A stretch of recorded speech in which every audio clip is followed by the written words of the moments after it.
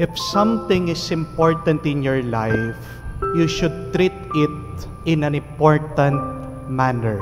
If something is special in your life, you should treat it in a special way.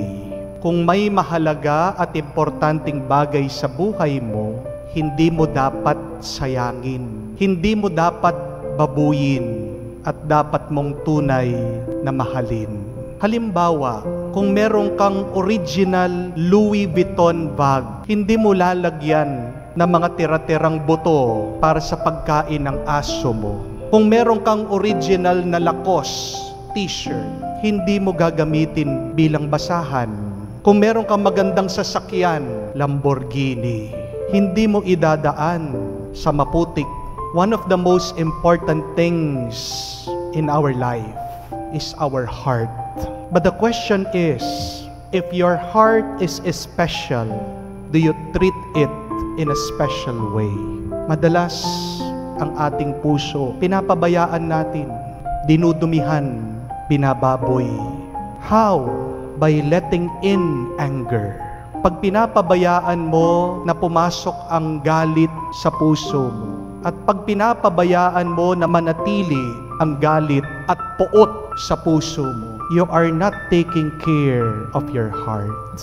Because if your heart is special, only special things remain in your heart. Kung mahalaga ang puso mo, dapat alisin mo ang galit sa puso mo. Dahil ang galit ay dumi. Dahil ang galit ay pabigat. Dahil ang galit ay sakit. Itong paalaala ng ating Panginoon. We should remove all traces of anger no matter how small it is. Kahit na maliit lang ito, kailangan natin alisin. We have to clean our hearts from anger because anger should have no place in our heart. Anger makes our hearts cheap, weak, destroys our heart. Mapipigilan ba natin ang ating sarili na hindi magalit? Hindi. Tao lang tayo. But what is unnatural is this, that you allow anger to live inside of your heart forever. Itong ating Panginoon, meron siyang banal at sagradong puso. Paano naging banal at sagrado ang puso ni Jesus? Ito po ay dahil ang laman ng kanyang puso panay banal, panay mabuti, panay pagmamahal sa iba. Ask yourself this question. What is inside of my heart? Ano ang nasa puso ko? Is my heart important to me?